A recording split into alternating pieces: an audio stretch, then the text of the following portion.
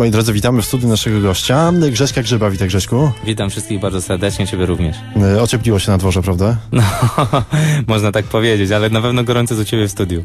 Tak, tu jest bardzo gorąco, dlatego mm, uwaga, uwaga, postanowiliśmy otworzyć e, okno w naszym studiu, ponieważ jest, jest tak gorąca atmosfera i zapewne tak gorące tematy będziemy dzisiaj poruszać, że e, woleliśmy po prostu otworzyć okno wcześniej, żeby być przygotowanym, bo kierowca rajdowy i dziennikarz też musi być przygotowany na wszelkie okoliczności, prawda? No jak najbardziej, zdecydowanie. Myślę, że nawet Ty chyba jeszcze bardziej przeżywasz w niektórych momencie, momentach ekstremalne sytuacje, bo, bo tak nie możesz e, do końca chyba przewidzieć, co dany rozmówca odpowie, nie? Musisz No tak, chyba właśnie. być przygotowany na wszystkie ewentualności. Kierowca rajdowy jednak jakiś w jednym kierunku uderza i tutaj y, określone rzeczy mo mogą się stać. No ale jesteś kierowcą stabilnym i możemy stabilnie, że tak powiem, rozmawiać.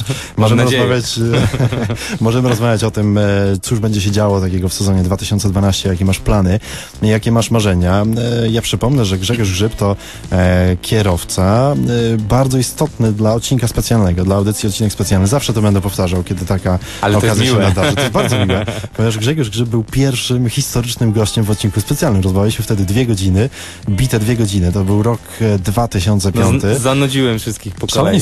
Dwie godziny rozmowy, dwie godziny rozmowy o rajdach e, i tą, tą rozmowę cały czas gdzieś mamy, a teraz dzięki e, chociażby serwisowi YouTube e, takie rozmowy również archiwalne będziemy odtwarzać i będziecie mogli e, tych rozmów e, sobie po prostu posłuchać. Ale skupmy się na, na teraźniejszości, a bardziej na sezonie 2011, że tak jeszcze troszeczkę e, do zeszłego sezonu wrócimy. E, całkiem ciekawy sezon, udało się wrócić w końcu po pewnych latach takiego przestoju e, na trasy rajdowych, samochodowych Mistrzostw Polski, no i reprezentowałeś e, zespół Peugeota. E, to była dobra informacja na początku, na początku sezonu. Jak ci się jeździło, powiedz, w zeszłym roku, w sezonie 2011?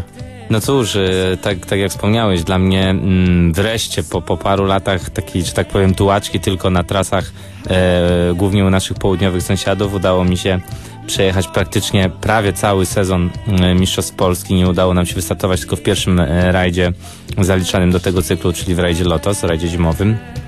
Ale e, cóż, no niestety w związku z tym staliśmy od razu na straconej pozycji, bo, bo e, na dzień dobry... Trochę tych punktów pouciekało. Tak, na Tak, dzień tak, dobry ja. trochę tych punktów pouciekało. Później w sezonie na pewno bardzo zadowalającym był fakt, że byliśmy w sumie bardzo konkurencyjni, bo zawsze jak jechaliśmy, to, to jechaliśmy na, na pozycji, e, że tak powiem, medalowej. E, no niestety porobiłem parę drobnych błędów. E, mam tu na myśli głównie rajd rzeszowski, gdzie, gdzie chyba za bardzo chciałem wygrać Taka z swoja domowa impreza. Tak. e, Była szansa, I pojawiła się szansa. tak, tak. Mieliśmy, e, no w zasadzie jako jedyni w tym roku udało nam się aż tak wyrównaną walkę nawiązać z bufierem, e, bo faktycznie w sportowej walce było w pewnym momencie między nami tylko 6 sekund. E, no i popełniłem szkolny błąd. No, zero na godzinę wjechałem do rowu, ale akurat było tak grząsko, że, że nie udało się z tego rowu wyjechać. A co wtedy czuje kierowca rajdowy, kiedy em, odpada z rajdu w taki sposób, który mm, jest na pograniczu, tak bym to może nazwał, jest na pograniczu błędu, ale tak naprawdę tego błędu się nie czuje, bo pewnie gdybyś, gdybyś taki błąd, nazwijmy to błędem, popełni na, na kolejnym zakręcie, to konsekwencje tego błędu może byłyby zupełnie, zupełnie inne. Znaczy, ja powiem tak, no, co ja, ja mogę powiedzieć ze swojej strony, na pewno czułem olbrzymie rozczarowanie, bo tak jak wspomniałem, była to nasza domowa impreza, dodatkowo e, oprócz Mistrzostw Polski rywalizowaliśmy w cyklu Mistrzostw Słowacji, gdzie e, zdecydowanie prowadziliśmy w tej klasyfikacji e, i jak się okazało, ten mój błąd zaważył właśnie na tytule Mistrza Słowacji w klasyfikacji generalnej, bo w zeszłym roku zostałem wicemistrzem. Więc y, no było to olbrzymie rozczarowanie. No, bardzo mi było przykro y, z powodu tego, że nie potrafiłem jakby wywiązać się z zobowiązań, jakie sam sobie postawiłem wobec właśnie przedstawicieli Peugeot, jak również wobec przedstawicieli Rufy Sport, czyli zespołu mojego słowackiego, który reprezentuję. E, tak więc no fajnie, że otaczają mnie ludzie, którzy e, traktują e, ten sport ze zrozumieniem, wiedzą, że takie rzeczy się zdarzają i tutaj słowa otuchy na pewno pomagają. Natomiast natomiast no e, z drugiej strony jednak wiadomo, że, że po prostu postąpiło się głupio. Oczywiście, że e, ża- żaden zawodnik tutaj nie, nie popełnia błędu specjalnie. Wiadomo, to jest wszystko w ferworze walki, jest afera, adrenalina, e, olbrzymie chęci, emocje i to wszystko powoduje, że, że czasem właśnie takie błędy się popełnia, ale z drugiej strony, no, e, bardzo dobry zawodnik, już nie mówię dobry, bardzo dobry zawodnik, takich błędów powinien popełniać jak najmniej. No my w tym roku właśnie na rajdzie rzeszowskim taki błąd popełniliśmy, był on dla nas decydujący. Później na rajdzie Koszyc y, taka dosyć nieprzyjemna Ale sytuacja. zostając przy rajdzie rzeszowskim, e, nie jesteś chyba sobie na rajd rzeszowski, że tak powiem, bo ten rajd też w przeszłości no, dał ci dużo takich momentów em, sportowych, bardzo, bardzo radosnych, prawda? Zwycięstwo w, w klasyfikacji generalnej tego rajdu e, dużo znaczy, bardzo dużo znaczy. Zdecydowanie tak, zdecydowanie tak. No, przepraszam, muszę e, przyznać, że tak naprawdę jeśli chodzi o rajdy, to nie wiem, czy to, czy to nie, był, e, moje, nie były moje największe sukcesy. Dwukrotnie udało, zre, zresztą pod rząd udało mi się wygrać rajd rzeszowskiej w klasyfikacji generalnej. E, Kurczę, naprawdę e, przyznam się szczerze, że, że, że, że tych zwycięstw się nie spodziewałem, bo najpierw startowaliśmy e, zdecydowanie najsłabszym autem klasy Super 2000 e, wówczas, e, wówczas dostępnym i, i mimo, że to auto technologicznie wszyscy wiedzieliśmy, że troszeczkę odstaje od konkurencji, to jednak okazało się najszybsze i walczyliśmy jak, A jakie jak lew. mocne strony miał Fiat? Jako auto kategorii Super 2000? Jakie, w, czym, w czym ten samochód był mocny na tle, na tle innych aut Super 2000? No to inaczej. to jest takie pytanie, z którego trzeba ładnie wybrnąć. no więc to auto było ładne, wielu się podobało. Nie, na pewno, na pewno, mm, cóż, no na pewno Kobietom było... się podobało, bo takie Tak, ładne i kształty. na przykład sponsorom słowackim, ale tak e, poważnie mówiąc, no cóż, no auto było bardzo fajne, bo było przede wszystkim to auto Super 2000, więc każde auto Super 2000 jest po prostu z zasady e, niesamowicie, niesamowicie w, sprawia jak i w wielką? Tak, tak. Natomiast, e, no cóż, no rok później porównam może do Peugeota. Rok później jechaliśmy Peugeotem, w którym był lepszy silnik, lepsza skrzynia, lepsze hamulce, lepsze zawieszenie. Więc e, tak naprawdę Może dlatego, że był nowszy. Y, tak, no myślę, że po prostu był technologicznie bardziej zaawansowany.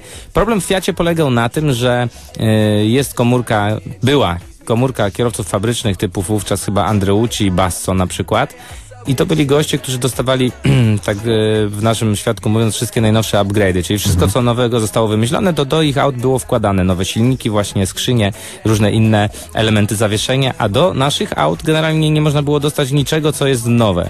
W sensie technologicznie. Oczywiście te rzeczy były y, wymieniane na nowe, tak, czyli nowe półosie, nowe, nie wiem, zaciski, tarcze, klocki i tak dalej, i tak dalej. Natomiast, natomiast nie były one jakoś rozwijane, nie szło to y, do przodu, prawda? Więc to auto, wiadomo, w sporcie, szczególnie jak to się nie rozwija, to się, ten się cofa. No i tutaj taka analogiczna sytuacja występowała, dlatego ten nasz sukces był niesamowicie taki zaskakujący, bo y, przyznam się szczerze, że rok później miałem taką sytuację, że że właśnie y, pan Edek Rzeźnik, któremu bardzo gorąco dziękuję, tutaj z Maćkiem wiem, że będziemy za chwilę również się słyszeli, y, zaproponował mi pomoc y, na rajdzie rzeszowskim w ten sposób mówiąc, że Grzegorz, ja ci dołożę do takiego samochodu pieniążki, którym będziesz w stanie walczyć o zwycięstwo. I oczywiście mogłem nawet wystartować, bo chodziło oczywiście o zwycięstwo w klasyfikacji generalnej, mogłem wystartować nawet autem klasy WRC z racji takiej, że nie, nie ścigałem się w polskim czempionacie, więc nie musiałem być klasyfikowany, a głównie... Chodziło o Słowację. tak, o punkty w Mistrzostwach Słowacji, a, ale z drugiej strony, no, ja zawsze czułem się sportowcem i, i, i szukam rywalizacji, nie szukam łatwych klas, tylko zawsze startuję w klasach, w których jest największa rywalizacja. No, teraz mamy klasyfikację generalną i to mnie najbardziej cieszy. I w związku z tym zdecydowaliśmy się razem z Przemkiem Mazurem, że nie jedziemy autem WRC, że to jest bez sensu, tylko trzeba znaleźć dobre auto Super 2000, którym będziemy mogli rywalizować ze wszystkimi i wybór padł na Peugeota. E, zrobiliśmy autem bodajże 30 parę kilometrów, w stosunku do konkurencji to była e, no, faktycznie znikoma ilość, ale, ale naprawdę auto było niesamowicie przyjazne, no czuliśmy się w nim wyśmienicie, wyśmienicie, wygraliśmy sześć bodajże z siedmiu odcinków specjalnych pierwszego dnia, przegraliśmy tylko jeden, zresztą e, bardzo e, niesympatyczna dla nas porażka, bo za ten OS można było wygrać 15 chyba tysięcy złotych. i mistrz świata w takich odcinkach specjalnych Tomasz Kuchar w tym OS-ie oczywiście zwyciężył, tak więc, tak więc no niestety to było troszeczkę mnie Zawsze, dobrze, zawsze ale- dobrze mieć te pieniądze, prawda? tak jest, ale z drugiej strony to ja też zawsze powtarzam, że nie dla pieniędzy startujemy akurat w rajdach, wręcz przeciwnie, w tym sporcie się tylko traci pieniądze, więc to było Ale akurat na tym rajdzie złe. można było ten odcinek stracić nieco mniej. No, tak, tak, to, tak Zdecydowanie, to bardzo chciałbym wygrać w tym odcinku, ale nie potrafiłem. Wszyscy bardzo chcieli chyba wygrać. Tak A to był jest. zresztą bardzo ładny odcinek, prawda? Taki Oj, super, super. Karpacki, 18 rajd rzeszowski, o ile dobrze Chyba pamiętam tak, chyba tak. tego rajdu. Przyznam się szczerze, że kurczę, z wielkim sentymentem e, wspominam ten rajd, bo naprawdę był niesamowicie zorganizowany jakby w, z każdej strony, bo w, w związku z tym, że było właśnie zaplecze i całe zaangażowanie firmy Vanpur w to przedsięwzięcie, to nabrał zupełnie innego wyma- rozmiaru e, ten rajd, bo, bo przez, ale wszystko, konferencję prasową, e, przez osoby, gości zaproszonych i tak dalej, i tak dalej, przez ten odcinek specjalny. Myślę, że medialnie generalnie tamtejszy rajd, e, ówczesny rajd rzeszowski, e, no, bardzo mocno podbił ten poziom i, i później w zasadzie no, trzeba było się równać do tego poziomu albo próbować, e, próbować nawet go przeskoczyć i, i chyba dobrze, że, e, że ni stąd, ni zowąd ten rajd rzeszowski nagle pokazał, że można robić rajd, który ma naprawdę wspaniałą atmosferę, medialność niesamowitą. E, Termin też był świetny. Termin e, rajdu rzeszowskiego ogólnie jest świetny, bo jest Tak. ciepło. E, można powiedzieć, że, że dobrze się wtedy ogląda rajdy. No tak, zdecydowanie, ale sam wiesz, Karol, jak to jest. To tak jak tutaj w radiu zawsze przychodzę do was, jest miła atmosfera, więc ja też bardzo często to powtarzam, że tak, tak naprawdę najważniejsi wszędzie to są ludzie, prawda? Którzy tworzą daną firmę, daną społeczność, daną grupę i tutaj to samo, no grupa ludzi pracujących przy okazji organizacji rajdu rzeszowskiego to są prawdziwi fascynaci, to są ludzie, którzy nie robią tego dla pieniędzy, prawda? Tylko oni robią to, bo kochają i naprawdę poświęcają dużo czasu społecznie, żeby, żeby ten rajd przygotować. Sam bierzesz czynnie udział przy organizacji rajdu Elmotu i mogę założyć również ja o każde pieniądze świata, że, że guzik na tym zarabia, że tak naprawdę robisz to tylko i wyłącznie z pasji i na pewno tak jest, chyba się ze mną zgodzisz i to jest ta sama sytuacja. Y, Ci ludzie po prostu tak bardzo chcą y, zorganizować ten rajd dobrze, że to właśnie później e, te, te, te chęci są przekładane na efekty, a że z roku na rok to doświadczenie jest coraz większe, prawda? Tutaj w tym wypadku wsparcie Vanpuru było również nieodzowne, bo jednak mimo wszystko te fundusze są niezbędne. Mhm. dokładnie, żeby coś zorganizować lepiej. No i to wszystko zagrało. Dodatkowo pogoda była świetna, dodatkowo kierowca z Rzeszowa wygrał, także No, czego plusy. chcieć więcej. Same plusy, same plusy, także na przypomnij wygrał, e, ten rajd wygrał Grzesiek Grzyb, który dzisiaj jest naszym gościem, a to już sezon 2012 się powoli zbliża. Takie pytanie nawiązujące też do tego rajdu, bo wtedy tego Peugeota wypożyczyliście e, z takiej węgierskiej firmy, prawda? Tak, z E, TRT. TRT. Dobra to Mhm. była firma, prawda? Wtedy i dobrze tego Peugeota wam przygotowała. Tak, tak. No z tą firmą już od tego czasu jesteśmy dosyć mocno związani, ponieważ cały zeszły sezon jeździliśmy obsługiwani właśnie też przez firmę TRT Tamasa Tagaja z Węgier. Aczkolwiek y, tutaj była troszeczkę inna sytuacja, ponieważ startowaliśmy autem, którego właścicielem jest Peugeot Polska, a tylko obsługa cała techniczna była właśnie wykonywana przez tą firmę. A w pierwszym starcie naszym, to o którym wspominaliśmy w Rajdzie Rzeszowskim, y, cały program naszego startu był organizowany łącznie z, właśnie z samochodem przez, przez tą węgierską firmę. Tutaj tylko mogę dodać, że e, ten nasz start był do końca na wariackich papierach, bo wracając bodajże weekend wcześniej z Włoch, gdzie byłem z rodziną na e, wakacjach, przejeżdżałem przez Budapeszt i jeszcze sprawdzając, czy jest auto, y, tam poprawiając fotel, a, a tak naprawdę jeszcze nie mieliśmy kontraktu dopiętego, a już był poniedziałek, a w, a w następny piątek zaczynał się rajd. Tak więc w poniedziałek jeszcze tak naprawdę nie mówię, nie mieliśmy żadnych formalności załatwionych, wszystko odbywało się we wtorek, a, a w czwartek bodajże mieliśmy już testy, także wszystko było, mówię, było na wariackich papierach, ale czasem, czasem to jak widać dobrze wychodzi. No ale Węgry to dobry kraj, bardzo zawsze lubię odwiedzać Węgry. No, No, i ja też wiem. pytanie odnośnie tego sezonu, sezonu 2012, czy, czy ta przyjaźń polsko-węgierska, powiedz, yy, niestandardowo się zapytam, czy ona będzie trwała w twoim przypadku, czy też nie?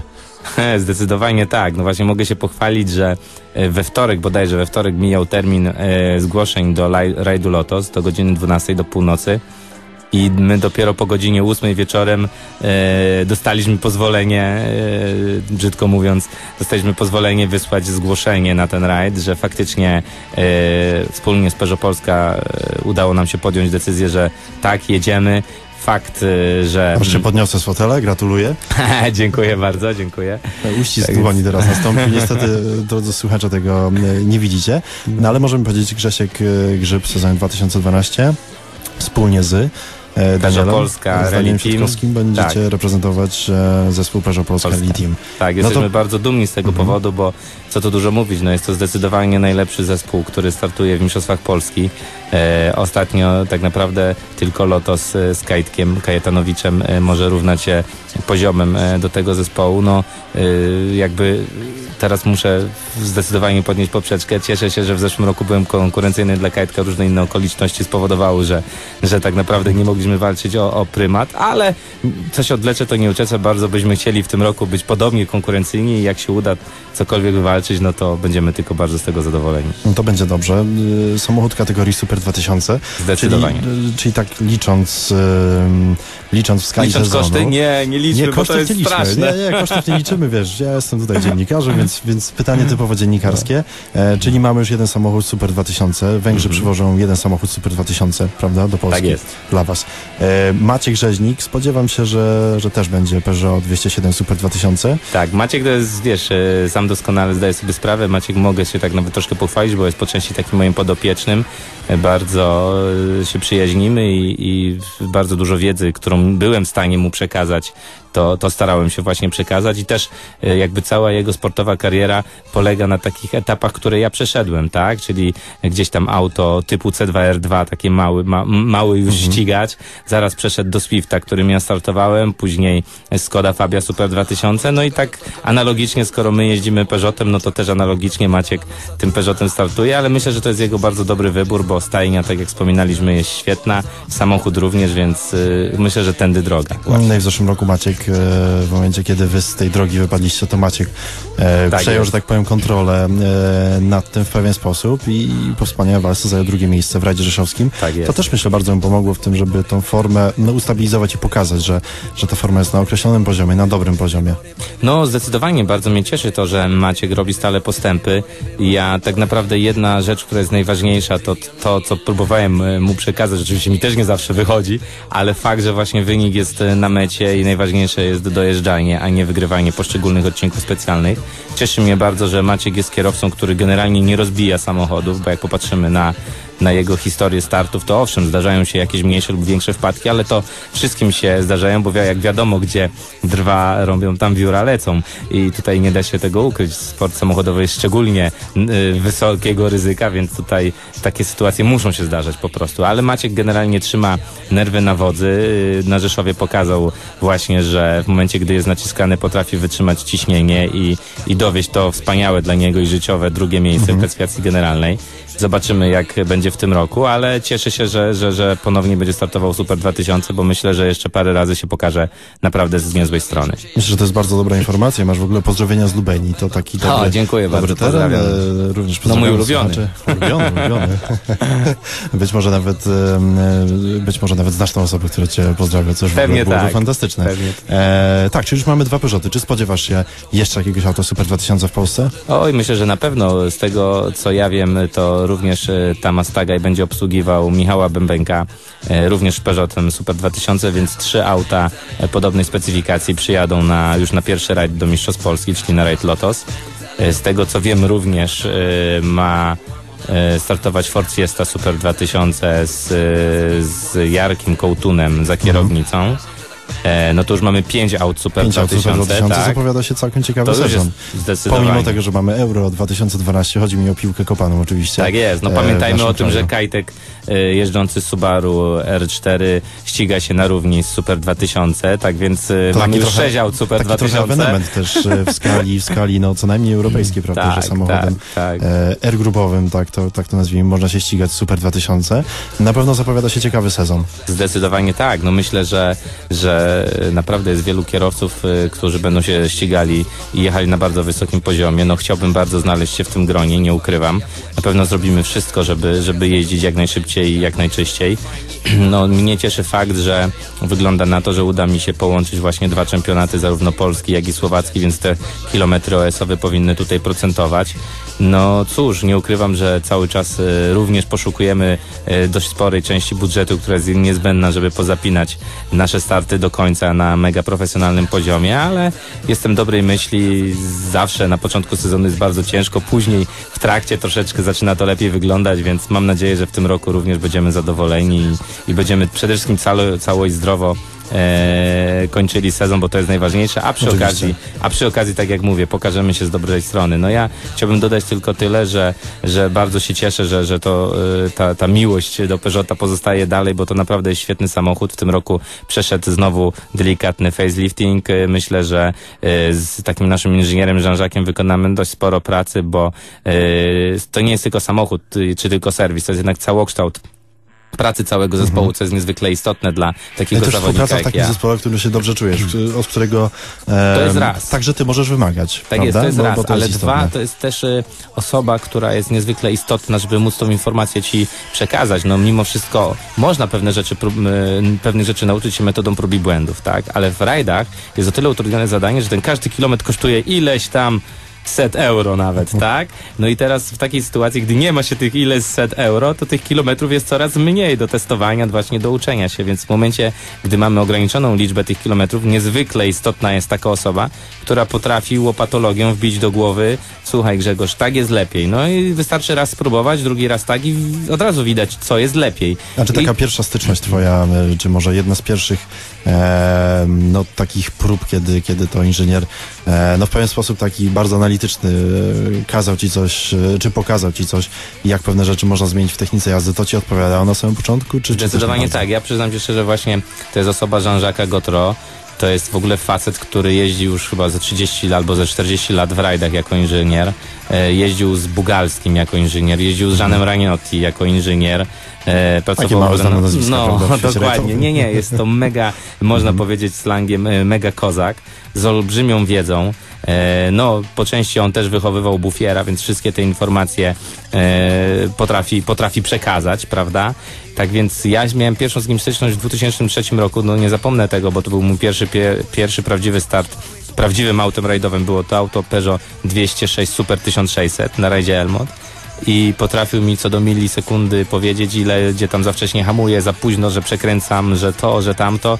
Ja taki na początku zszokowany, no ale faktycznie to wszystko mi wytłumaczył, pokazał na komputerze. Teraz jest dokładnie analogiczna sytuacja. W zeszłym roku mieliśmy taki przypadek, że jechaliśmy testowy na rajdzie dolnośląskim, gdzie różnica między bufierem a mną wyniosła bodajże 0,3 sekundy na 4,5 kilometra. I z telemetrii nałożyliśmy jego telemetrię i moją i możesz sobie wyobrazić, że wszystkie punkty hamowania mieliśmy w tym samym miejscu, tylko na jednym zakręcie, ja w tym samym miejscu zahamowałem, tylko tam z siłą o 10, nie wiem, kilonewtonów czy czegoś tam mądrego y, mocniej, nacisnąłem na ten pedał hamulca, czyli oczywiście analogicznie auto troszkę więcej zwolniło, miało mniejszą prędkość. I w tym zakręcie przegrałem, w tym miejscu, na tym za Te mocnym... 30 te sekundy 30 utraty. sekundy. I dokładnie mi to na telemetrii potrafił pokazać. No i od razu wiesz, y, na czym stoisz. Słuchaj, no faktycznie od razu analizujesz. Faktycznie tutaj za mocno w ten hamulec nacisnąłem, bo się wystraszyłem czegoś tam. Wydawało mi się, że, że jednak trzeba więcej się odhamować, mocniej, a to wystarczyło płynniej zrobić. No i zresztą na tym polega e, fenomen bufiera, który niezwykle jeździ płynnie. Także tak powiem, mało, mało widowiskowo, ale czas jest na mecie najlepszy zazwyczaj. Nie? Czas na mecie, czas na mecie, no pokazuje, jak, jak wielką klasę stanowi, Tak stanowi jest. ten kierowca. Mm, Co też jest ważne, myślę, że w ogóle taki temat inżyniera rajdowego jest, jest niezwykle interesujący. Myślę, że być może kiedyś taką osobę zaprosimy do radia i porozmawiamy o różnych rzeczach, które tak naprawdę no, mają ogromny wpływ na to, jak e, kierowca rajdowy, jak cały zespół na koniec rajdu, czy też na poszczególnych odcinkach wygląda. Mm, A jeżeli już jesteśmy przy tym temacie, mm, taka ciekawa dosyć legenda, już można powiedzieć, historia krąży właśnie o tobie i o tym, jak jeździłeś Suzuki. No. E, Kiedyś podobno e, inżynier bodajże z Japonii przyjechał, testowaliście ten samochód pierwszy raz Mhm.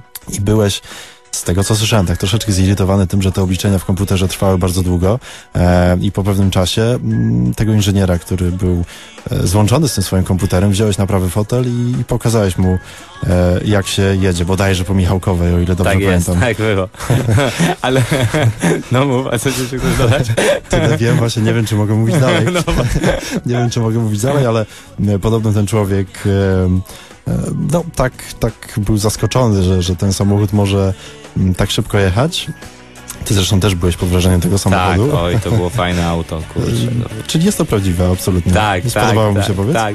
Bardzo mu się podobało i jak wysiadł, to nie umiem tego wytłumaczyć, ale mogę ci pokazać, jak złożył ręce w formie modlenia się i kiwał jak to Japonie z głową, że perfekto, perfekto, że wszystko Już gitarą. nie trzeba laptopa, chowamy laptopa. Nie, nie, to... Tak, nie, że wszystko jest gitara i nie trzeba nic robić. Jak tak będziesz jechał, to będzie super.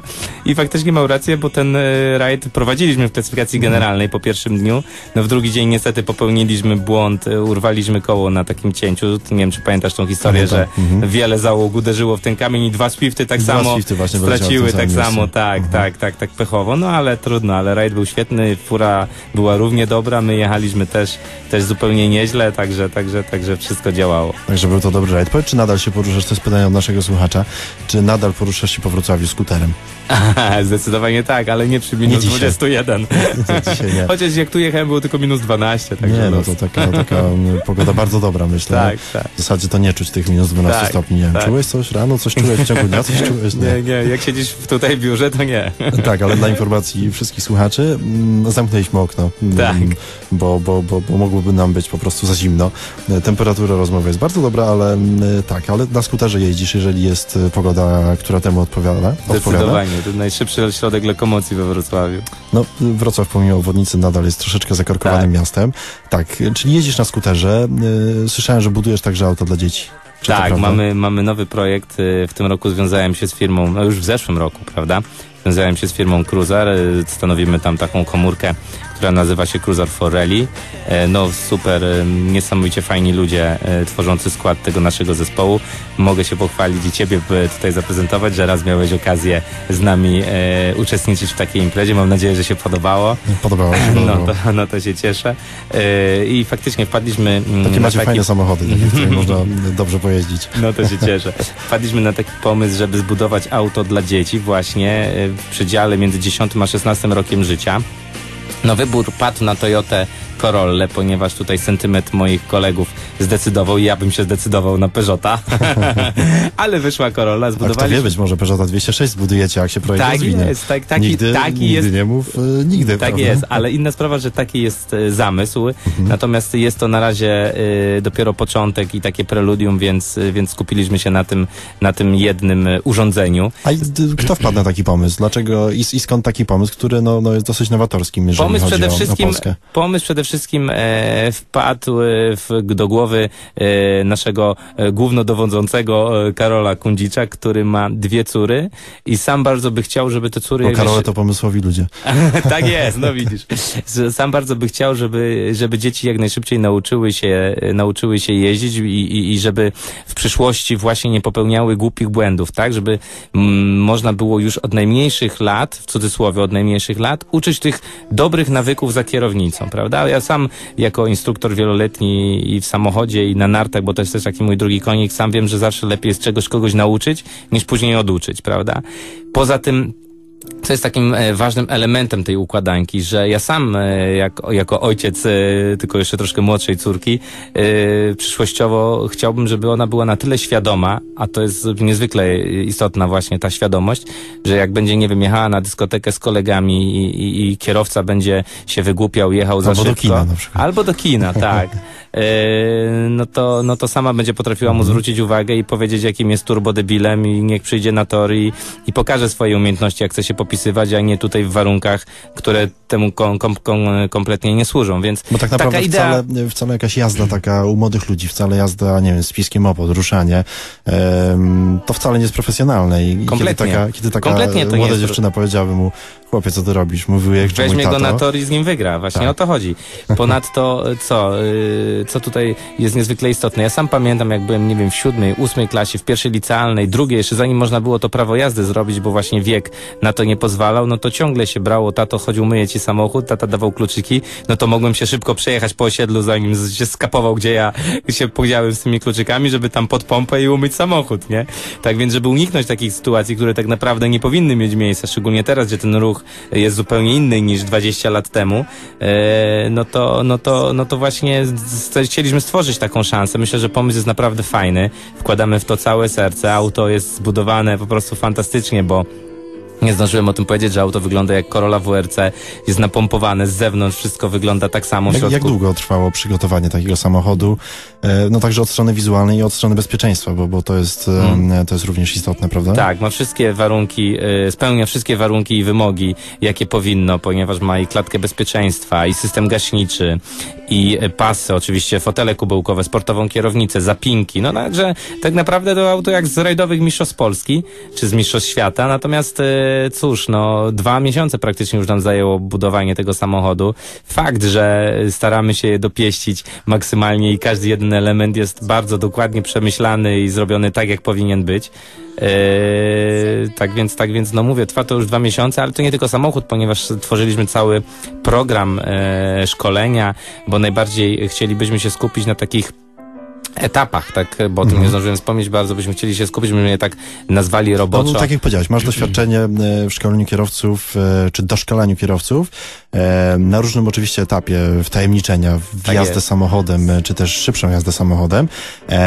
Jak to przenieść na dzieci właśnie, jak to przenieść na ludzi, którzy zupełnie nie mieli żadnej styczności, kiedy to jest też duża odpowiedzialność, bo wtedy to ty jesteś człowiekiem, który tak naprawdę no, bierze to na swoje barki i mówi, tak masz jechać samochodem, prawda, tu jest pedał hamulca, sprzęgła gazu e, i kiedy to dziecko nie musi uczyć się może, być może jazdy na czymś, e, co jednak nie przypomina samochodu, takim jak karting, prawda? Ale wiesz, ja ci powiem szczerze, że właśnie z dzieckiem to jest łatwiej niż z dorosłym, bo dorosły jest po pierwsze uparty, wydaje mu się, że wszystko wie, tak jak, tak jak od czego zacząłem, że łatwiej jest kogoś nauczyć. Dziecko po prostu Mhm. To tak jak czegoś... inżynier, prawda, rozmawia z tobą, czy rozmawia z kierowcą rajdowym. Tak jest. Też y, kierowcy bywają uparci. No to prawda i nawet a propos tego y, Jean-Jacques też miał swoje, ma swoją opinię na temat różnych kierowców mistrzostw Polski i, i to nie ma co, i nie musi tego ukrywać, także no ale to mniejsza z tym. Także wracając tutaj do tematu, chodzi o to, że y, z takimi dziećmi się fajnie pracuje, ponieważ o, albo to dziecko łapie od razu i szybko przyswaja wiedzę i wykonuje każde ćwiczenie już dobrze, albo po prostu tego nie zrobi i trzeba okrężną drogą poprzez inne ćwiczenia ułatwiające mu, kierujące do tego danego celu, tak? Z, przygotować go do tego, żeby to ćwiczenie konkretne wykonało, ale w summa summarum ono je prędzej czy później wykona. Tutaj nie ma, my nie, to też nie jest tak, że my chcemy stworzyć, e, tak brzydko mówiąc, jakiś taki wyścig szczuru, że te dzieci mają zostać wszys- wszystkie Robertami Kubicą. Nie, Kubicy, Kubicą.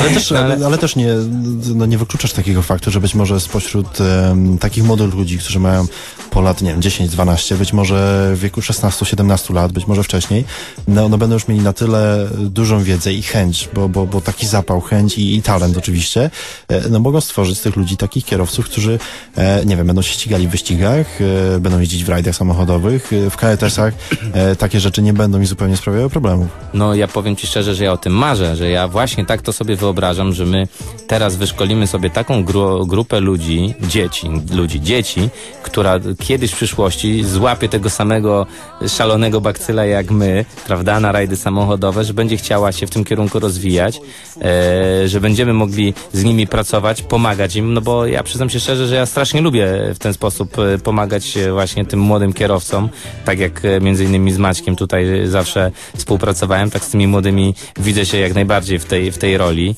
I e, no cóż, i, i jak najbardziej byłbym za tym, żeby później jakieś takie dziecko o nazwisku Iksiński za 10 lat jeździło w rajdowych mistrzostwach świata i Ty było Dakar, a nowym dziecko, Sebastianem Lebem. ty na Dakar, a dziecko w rajdowych tak mistrzostwach jest, Polski, prawda? tak jest. Albo w mistrzostwach świata. Mistrzostwach świata, Nie, nie, dokładnie. nie mam oczywiście nic przeciwko, wręcz przeciwnie. Bardzo bym chciał, żeby taka sytuacja miała miejsce, natomiast na razie po prostu no, y, nie mamy takiej bazy, tak? Na razie chcemy ruszyć z tym programem. Myślę, że to już nastąpi y, na dniach. y, I, i, stworzyć ten cykl szkoleń, bo, bo od tego ch chciałem zacząć, że, że podzieliliśmy no, na takie kategorie, że jest to prawo jazdy umowne, licencja rajdowa i później już y, cykl kapów, czyli tych wyścigów, zawodów, że jednak dziecko, które nie potrafi jeździć, no to wiadomo, nie można od razu puścić, żeby się ścigało na czas z innymi, więc segregujemy te dzieci, które będą chętne na czy już nawet zaczęliśmy segregować po części, bo tych chętnych jest dosyć sporo, yy, na, na, na grupy, w które wie, nie do końca wiekowe, tylko przede wszystkim ze względu na poziom umiejętności, prawda? Bo to jest tym yy, niezwykle istotnym czynnikiem. Wiesz co, przyszło takie pytanie w tej chwili, e, bardzo się uśmiechnąłem, bardzo mocno Mhm. Mm, i w zasadzie też mógłbym to pytanie zadać. E, Grzechu, gdzie ty byłeś 20 lat temu? Ale 6 grudnia to wiem gdzie. 6 grudnia wiesz, gdzie byłeś.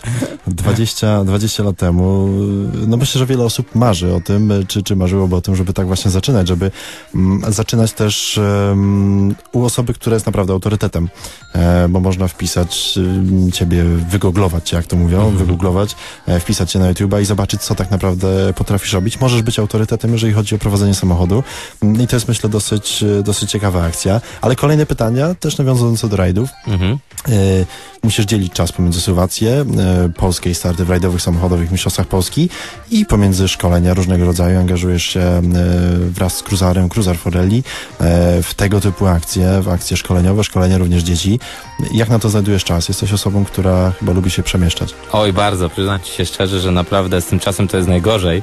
E, teraz szczególnie narzeka moja małżonka, bo nie mamy całymi dniami w domu. Wieczorem zazwyczaj też jest jeszcze pewnie coś do, zrobione, do zrobienia albo jakiś trening E, tak jak dzisiaj na przykład zaraz stąd prosto od ciebie lecę na trening. To jest żywy przykład, że, że jesteś sportowcem z krwi i kości. No tak, żeby. trenujesz. No prawda jest taka, że jeżeli nie jesteś fizycznie dobrze przygotowany do startów, to zarówno później psychicznie nie będziesz w stanie e, rywalizować na najwyższym poziomie. Także każdy, kto się profesjonalnie sportem zajmuje, wie doskonale, że tak e, po prostu musi być i tak do tego podchodzi.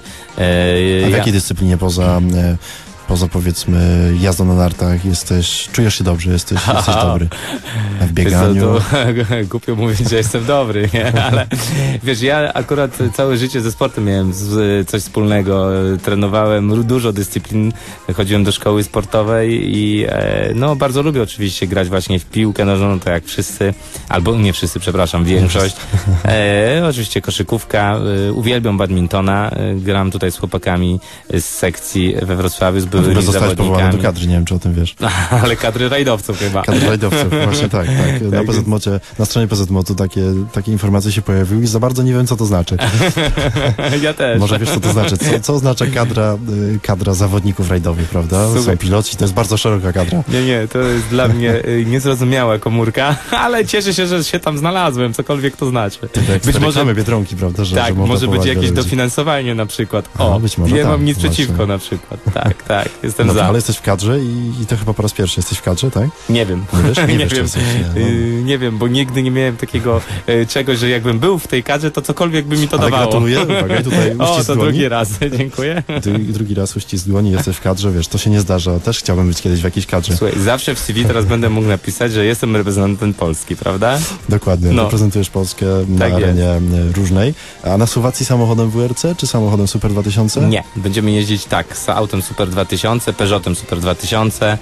Cały cykl będziemy startować jednym samochodem, na czym mi bardzo zależało. W zeszłym roku niestety takiej sytuacji nie udało mi się e, zorganizować, no bo a przede wszystkim dlatego, że że po prostu za późno udało nam się związać kontraktowo z Peugeot i, i już pewne e, kroki i poczynania zostały wcześniej zrobione i nie, mogły, nie mogliśmy się z nich wycofać. No ale w tym roku już będziemy jechali Super 2000 i myślę, że walka tam z tym wariatem Bereszem będzie niesamowicie ciężka, bo on akurat na trasach słowackich jest niesamowicie szybki, więc e, o czym się przekonała zresztą nasza czołówka również e, na rajdzie Koszyc, także, także na pewno na pewno będzie walka bardzo, bardzo ciężka. Jak to mawiałem kibice, ten, ten człowiek ogarnia jazdę samochodem rajdowym. Powolutku nasza rozmowa się będzie zbliżać do końca, mamy jeszcze trzy minuty. E, Grześku, czy jakieś testy przed e, rajdem Lotos? Tak, bardzo byśmy chcieli w środę tuż przed rajdem pojeździć, zrobić troszkę więcej kilometrów, dlatego że nigdy w życiu nie jechałem szybkim samochodem e, po śniegu. Najszybszym jakim jechałem to chyba właśnie Citroenem C2R2 i to też już ładnych parę lat temu. A po luźnej nawierzchni, no to właśnie przed rajdem polskim tylko miałem prawdziwe, fajne testy zorganizowane i na rajdzie yy, myślę wykonaliśmy wspaniałą robotę, bo stanęliśmy na y, podium, yy, no było, nie było eliminacji mistrzostw Europy po bardzo zaciętej walce, tak więc yy, no wierzę bardzo gorąco w to, że jeżeli uda mi się dobrze przygotować do tego startu, to będziemy konkurencyjni, ale z drugiej strony wiem, że moje doświadczenie akurat na śniegu jest zerowe.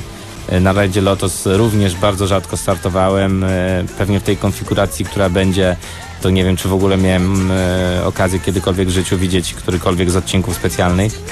Tak więc nie znam tych terenów, czuję się tam dosyć, znaczy czuję się tam świetnie, bo, bo sama osoba Leszka Orskiego, organizatora tego rajdu jest świetnie znana w świadku e, sportów samochodowych, sam zawsze mu No, ale ciebie tanie skóry nie sprzedasz, tak bardzo Na pewno. podchodzisz. Będziemy bardzo spokojnie walczyć. do tego podchodzisz, więc, więc na pewno będziesz walczył e, bardzo mocno. Ale nogami przebierasz teraz. Karol, to nie jest tak spokojnie. Tak, tak, tak. Nie jest tak spokojnie. Widzę, że tak. Nie, nie. E, zrobiło się ciepłe, może znowu otworzymy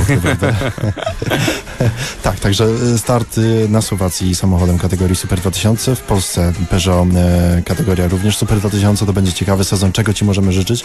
No przede wszystkim tylu startów, ile met. Yy, także, także, także to, To się nie zmienia To się w nie rajdowym zmienia. świecie i w takiej logice, Oczywiście. prawda? Przede wszystkim y, ja i myślę, że większość kierowców jednak jeździmy dla przyjemności, dla frajdy rywalizacji, dla, dla, dla tej właśnie adrenaliny, prawda? Ale z drugiej strony, no wiadomo, że życie się na tym nie kończy, nie jest to najważniejsza czynność czy rzecz wykonywana na, na, na, na świecie.